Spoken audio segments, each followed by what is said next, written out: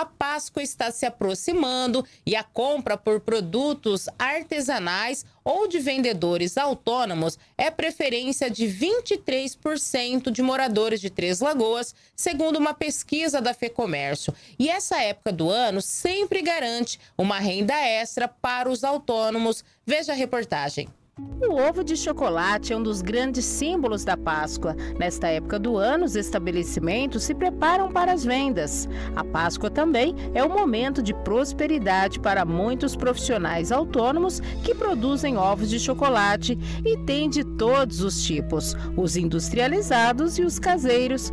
E o que não falta são opções. A escolha depende do gosto de cada um. Na hora de escolher, a professora Cristina Maldonado diz que opta pelo caseiro caseiro e não industrializado, que está um pouquinho mais caro. Está um pouco caro se está difícil para a gente, né? Mas às vezes a gente vai comprar daquele produtor local, não das grandes marcas, mas aquele vizinho que faz o ovo caseiro e tal, de repente desses aí eu compro. Mas quem gosta do ovo caseiro é preciso correr.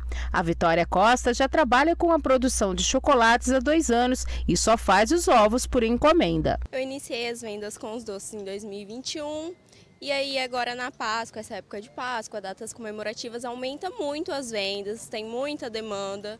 Nós soltamos nosso cardápio segunda-feira e vamos aceitar até três dias antes da Páscoa. O planejamento é fundamental, tanto para agradar os clientes quanto quem faz os produtos. Já para deixar todos os produtos certinho, não correr o risco de faltar produto, deixar a embalagem, tudo certinho encomendado que aí não tem risco de faltar. E a Vitória tem motivos para comemorar nesta Páscoa, pois as encomendas aumentaram 50% se comparado ao ano passado. Melhorou muito, muito. Coisa de 50% de aumento.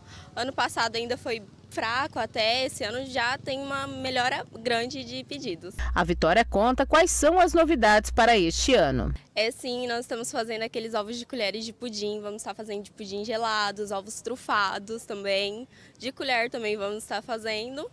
São as novidades para esse ano. Sim. Assim como vários itens, com o chocolate não foi diferente. Também sofreu um reajuste neste ano e por conta disso os produtos que são fabricados, confeccionados com o chocolate vão ficar um pouquinho mais caro nesta Páscoa. Deu uma aumentadinha boa. O mercado aumentou bastante o preço dos produtos, materiais que a gente utiliza para produzir os ovos, então teve que aumentar. E na hora de fazer os produtos, seja os ovos, as trufas ou tantas outras delícias que o chocolate proporciona, a Vitória faz questão de optar por bons produtos, mesmo estando mais caros. A gente preza sempre pela qualidade, independente do preço, a gente prefere ter um produto de qualidade do que um barato. Porque acaba que se você oferece um produto barato, mas não tem qualidade, a pessoa compra só uma vez e não retorna. A Páscoa, assim como outras datas comemorativas, são importantes fontes de renda extra para os autônomos. A Vitória Costa trabalha o ano inteiro vendendo chocolates e aproveita essas datas para aumentar a renda. Sim, a gente também vende trufas, cones trufados, então o ano todo. Aí quando tem essas datas comemorativas, a gente entra, acaba inovando. A Vitória abriu mão de outro serviço para trabalhar por conta própria. Ela mesma faz e vende as trufas, cones e ovos de chocolate. Como todo início, existe o receio, mas com o passar do tempo e com a clientela já conhecendo os produtos, não tendo que se queixar.